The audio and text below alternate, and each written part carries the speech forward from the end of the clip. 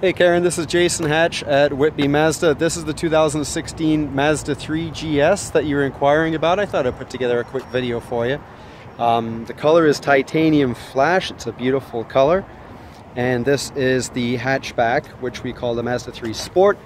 It's got the alloy rims, really nice tread on the tire. I don't know if you can see that in the camera. And it looks good all around. I know you're going to want to come by and see it. Um, here's the key fob, it's push button start.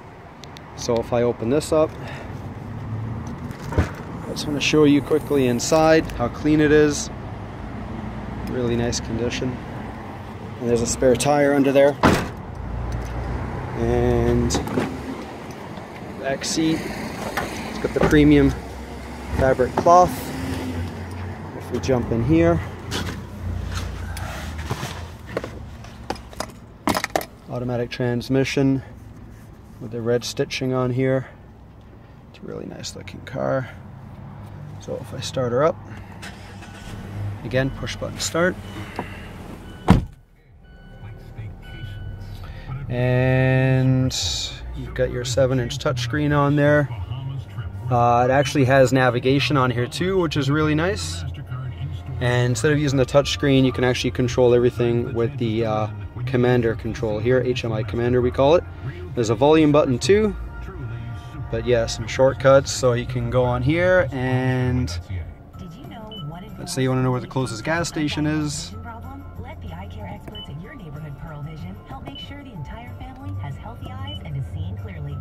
There you go. A whole bunch of things on there, which is really nice. And if I shortcut to the music, there's a whole bunch of stations in here.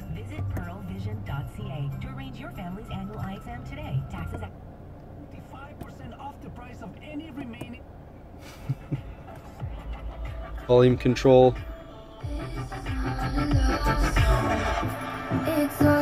So really nice speakers on here. If I put it in reverse,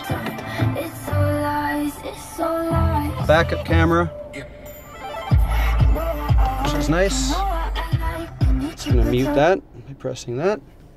And then over here in the steering wheel, you've got Bluetooth, answer, and then phone calls. Uh, voice recognition button, so if your phone's paired by Bluetooth, you just say call John, call Mary, it's going to phone them. I could say uh, FM 104.5, it'll play Chum FM. Um, because you've got navigation here, I could say new address, read it the address, it's going to tell me how to get there step by step.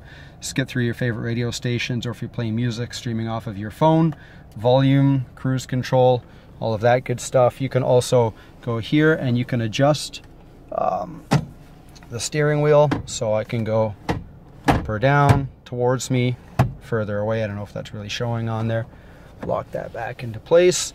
Over here we've got uh, the booklets, the owner's manuals. Um, so this is a 2.5 liter um, four cylinder Skyactiv engine. Fantastic fuel economy, a lot of fun to drive.